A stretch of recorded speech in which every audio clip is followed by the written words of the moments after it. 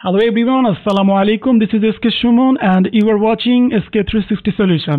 আজকে আমরা দেখব কীভাবে Adobe Lightroom CC তে আমরা ফটো ইম্পোর্ট করতে পারি এবং এডিট করতে পারি সেই সাথে এডিটের পরে আমরা ফাইল এক্সপোর্ট করতে পারি তো চলুন কথা না বাড়িয়ে শুরু করা যাক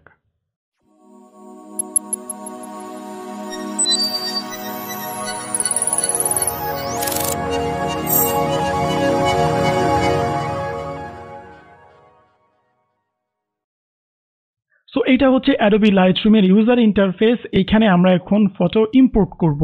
সো ইম্পোর্ট করার জন্য হচ্ছে আপনার এই যে লেফট সাইডে ইম্পোর্টে ক্লিক করতে হবে। ইম্পোর্টে ক্লিক করার পরে এই যে আপনার এখানে সোর্স দেখাবে, অর্থাৎ আপনার G drive E drive D drive যেখানে আপনার ছবিটা আছে, আপনি সেইখান থেকে এটা সিলেক্ট করে দিতে পারেন। আমি এইখানে এসে আমি এই যে logo of my meet Bangla আমি এইখানে আসলাম। সো এইখানে আসার পরে যেটা হয়েছে যে, এ অটোমেটিক্যালি এই ফোল্ডারে যতগুলো ছবি আছে ততগুলো ছবিও সিলেক্ট করে দিয়েছে। আমাদের পুরো ছবিটা লাগলে আমরা এখানে চেক অল করে দিতে পারি। যদি সবগুলো না লাগে, আমরা আনচেক করে দিব। যেটা আমাদের স্পেসিফিক লাগবে, আমরা সেটাতে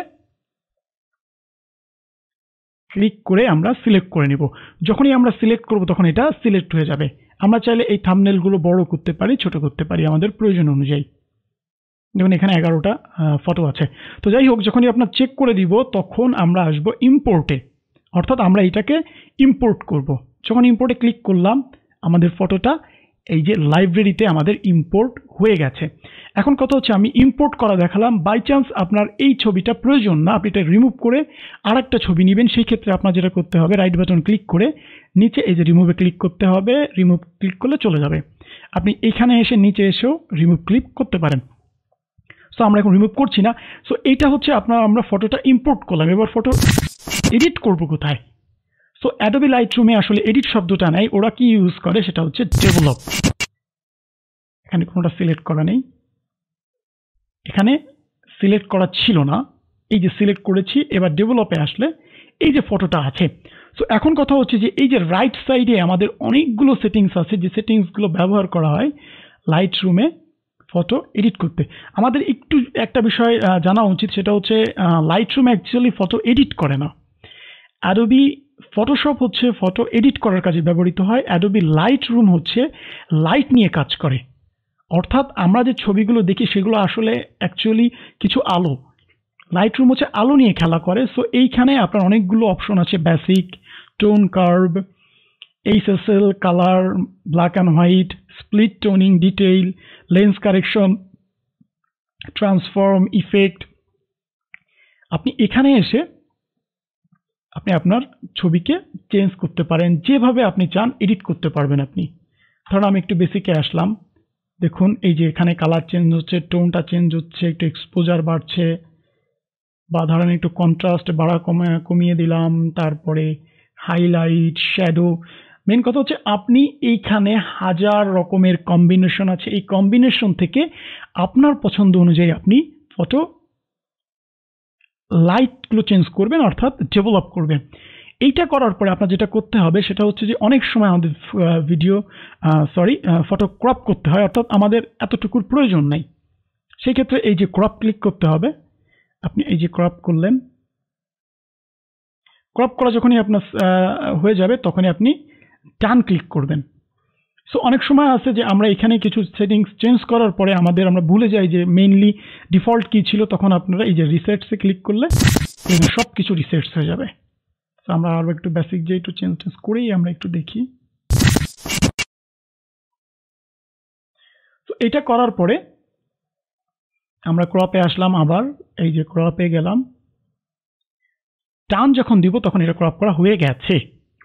সো আমার কথা হচ্ছে যে আমরা এখন ফটোটা এডিট করলাম। অর্থাৎ আমি খুব বেসিক জিনিস দেখালাম। আপনারা এডিটিংটা হচ্ছে একটা ক্রিয়েটিভ জিনিস। আপনার চোখের উপরে, আপনার মনের দৃষ্টিতে আপনি কীভাবে এডিট করবেন, সেটা আপনি এখান থেকে করতে পারবেন। আমি অ্যাকচুয়ালি বলতে পারব না যে আপনার নজরে আপনি কোনটা ভালো চান। সো আমি ইম্পোর্ট করা দেখালাম ডেভেলপ করা দেখালাম। এইবার আমাদের এক্সপোর্ট করতে হবে। এক্সপোর্ট করার জন্য আবার লাইব্রেরিতে আসতে হবে। এটা সিলেক্ট থাকতে হবে।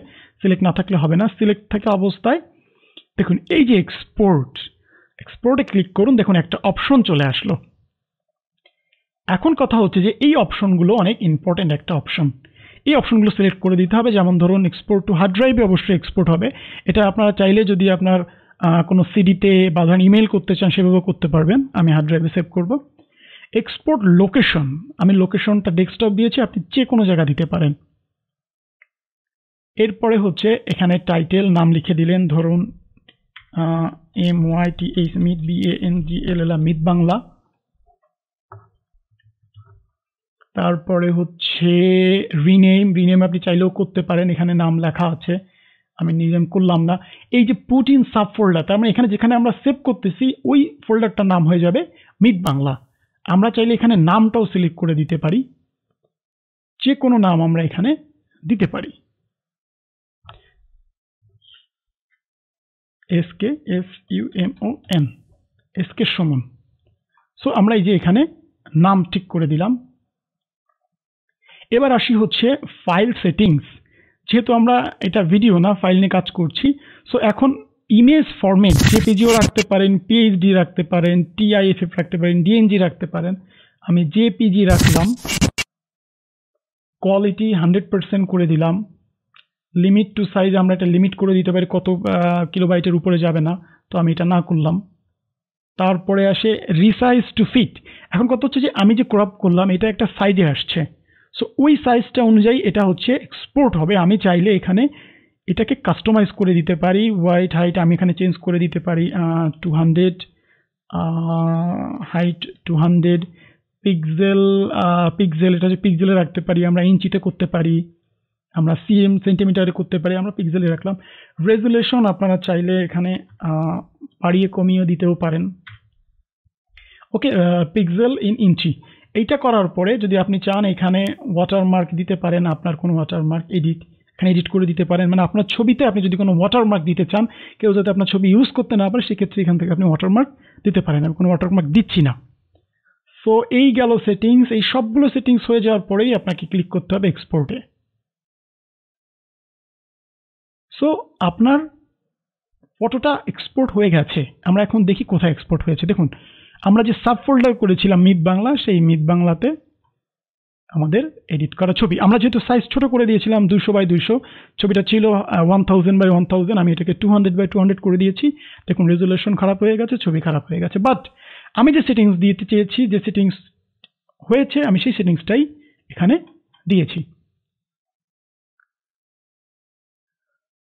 সো গাইস এই ছিল আমাদের আজকের পর্বে। আমরা দেখলাম কীভাবে ফটো ইম্পোর্ট করা যায় ডেভেলপ করা যায় এক্সপোর্ট করা যায় বিভিন্ন সেটিংস করে অ্যাডোবি লাইট রুম সিসির মাধ্যমে।